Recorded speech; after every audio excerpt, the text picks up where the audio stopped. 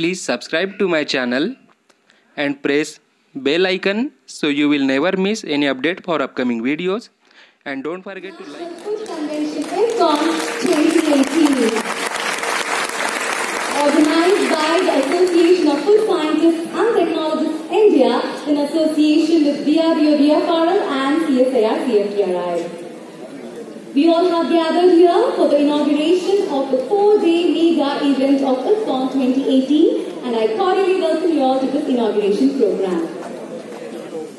It is indeed my honor to first welcome the dignitaries of today's program to the dais and I request Dr. Prabodh S. Halde, President AFSTI, Dr. Ashutosh A. Inamdar, Honorary Secretary AFSTI and Dr. Suresh Thackeray, Convener of IFCON 2018 to kindly accompany the dignitaries as they occupy their seats on the dais.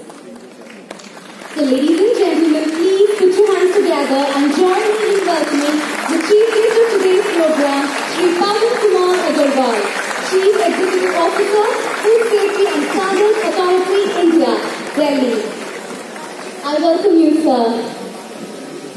ये यहाँ पे हवा देते हैं ये आवाज बहुत बकवास करता है ये जाना करते हैं Ladies and gentlemen, please maintain a huge round of applause on the dais. A very warm welcome to you, sir. Now I'd like to welcome our guest of eminence, Professor Chindi Vasudevappa, Vice Chancellor, National Institute of Technology, Entrepreneurship and Management, Haryana. I welcome you, sir. I would also like to welcome our guest of honor, Sri B. Raghuramaya, Director, Food Ingredient Specialties Private Limited, Chennai. May I now welcome Sri Anand Chaudhary, Managing Director of Suhana Praveen Masalewala, Pune, who is also our guest of honor. It is my pleasure to also welcome our guest of honor, Dr. Edmond Rock, Human Nutrition Unit, INRA, France. I also welcome IFCON 2018 patron Dr. Anil D. Semwal, Director, DRDO DFRL, Mysuru. Now I welcome our respected Director of CSIR CFTRI, Dr. K. S. Raghav sir, who will be presiding over this program. Once again, hearty welcome to all the dignitaries to the dais and to this program. Let us mark the beginning Almighty God, for which I'd like to call upon my friends Vidya CH and Uma Maheshwari to sing a prayer song.